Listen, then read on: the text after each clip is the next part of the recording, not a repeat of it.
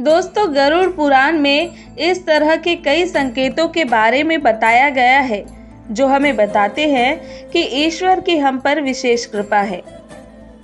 यहाँ हम इस वीडियो में ऐसे आठ संकेतों के बारे में बताएँगे, जो हमें परमेश्वर के अत्यंत खुश होने का संकेत देते हैं। जीवन में कभी भी कुछ ऐसी चीज़ें हो जाती हैं, जिन्हें देखकर ऐसा लगता है कि मानो हम पर कोई देवीय कृपा बरस रही हो। ऐसे में सारे काम निर्विघ्न होकर पूरे होते जाते हैं। व्यक्ति हर वक्त खुश रहता है और उसके आसपास एक सकारात्मक वातावरण महसूस होता है। भविष्य की कोई फ़िक्र उसे नहीं सताती। क्योंकि उसमें इतना आत्मविश्वास भर चुका होता है कि उसे लगता है कि भविष्य में भी वो कुछ भी कर सकता है। गरुड़ पुराण में भी इस तरह के संकेतों के बारे में बताया गया है, जो बताते हैं कि ईश्वर की हम पर विशेष कृपा है।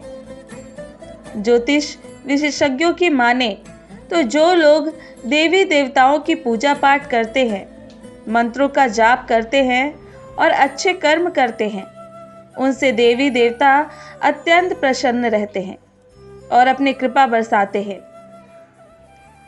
आइए बताते हैं ऐसे संकेतों के बारे में, जो कि आपसे देव अत्यंत प्रसन्न है।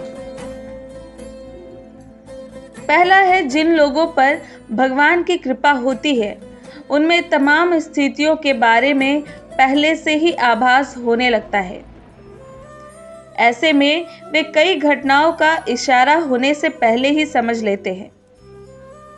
दूसरा, अगर आप अपनी शिक्षा का सही प्रयोग करके उससे परिवार चला पा रहे हैं तो ये ईश्वरीय कृपा से ही संभव है।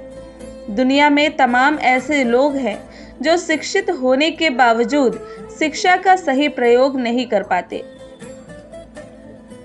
तीसरा जिन लोगों की सेहत अच्छी रहती है, उन पर भी परमेश्वर की विशेष कृपा होती है।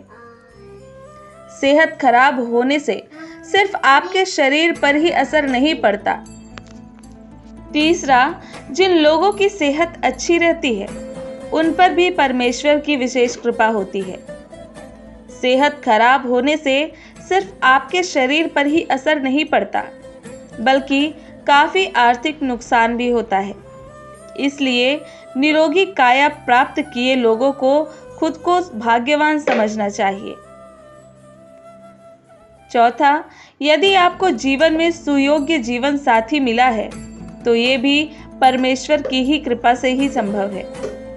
एक अच्छा जीवन साथी आपके पूरे जीवन को खुशहाल बना सकता है। लेकिन अगर जीवन साथी खराब मिल जाए तो पूरी लाइफ झगड़े और क्लेश के बीच गुजरती है। पांचवा, अगर किसी व्यक्ति की संतान आज्ञाकारी है तो ये भी परमेश्वर की ही कृपा है।